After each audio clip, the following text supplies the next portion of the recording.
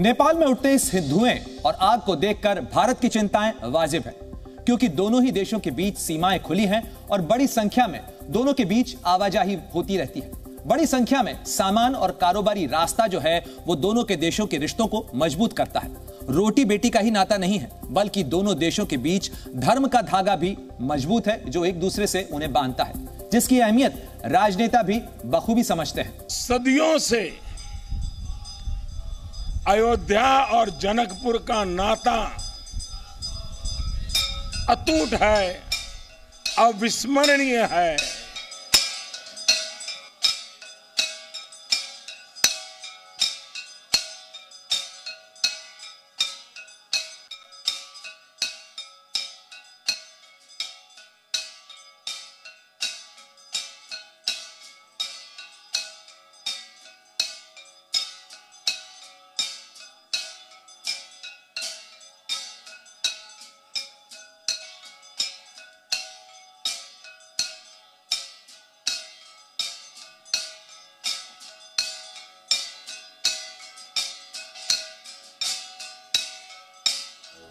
और धर्म का प्रवचन सुनाने 17 अप्रैल को बाबा बागेश्वर धाम, नेपाल के सुनसरी पहुँच रहे हैं और चार दिन तक, यानी 21 अप्रैल तक, उनका कार्यक्रम होना है। बताया जा रहा है कि हिंदूवादी संगठन के कार्यकर्ता, उनके कार्यक्रम का ज़ोर शोर से प्रचार प्रसार कर रहे थे। इसी दौरान हिंदू और मुस्लिम पक्ष के बीच हिंसक झड़प शुरू हो गई। झड़प इस कदर बढ़ी कि कई इलाकों में प्रशासन को कर्फ्यू लगाना पड़ गया।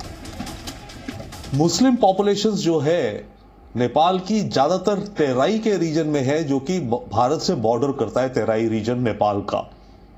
हालाँकि परसेंटेज कम है, परंतु सोशल मीडिया के चलते एंटेगनिज्म बढ़ रहा है। सोशल मीडिया में कुछ मुस्लिम्स ने पोस्ट करा काओ और बीफ को लेकर के, जिसके बदले में कुछ हिंदूज पे वहाँ पे रिटेलिएशन या प्रोटेस्ट हुई, वो मामला बढ़ता गया। ये पहली बार नहीं है जब बाबा बागेश्वर नेपाल पहुँच रहे हैं। इससे पहले पिछले साल अगस्त में भी बाबा धीरेन्द्र कृष्ण शास्त्री नेपाल में कथा करने पहुँचे थे और उनके स्वागत में सड़कों पर भीड़ का हुजूम जुटा था।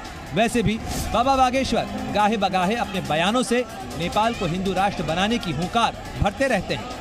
धन्य है ये नगरी, जहाँ प्रभु श्री राम को भी हम लोग आदर्श के साथ बड़े प्यार से उन्हें गालियाँ पवाते हैं। ऐसा नेपाल हिंदू राष्ट्र यह भूमि जहाँ भगवान पशुपतिनाथ विराजमान है इस भूमि पर आकर और आप लोगों की श्रद्धा देखकर हमें लग रहा कि हमें और पहले आ जाना चाहिए था। बाबा बागेश्वर की यह बात इसलिए भी अहम हो जाती है क्योंकि भारत को हिंदू राष्ट्र बनाने की वकालत वो लगातार कर रहे हैं। वहीं नेपाल को भी एक बार फिर से हिंदू राष्ट्र बनाने की बाबा बागेश्वर नसीहत देते हैं। Z News.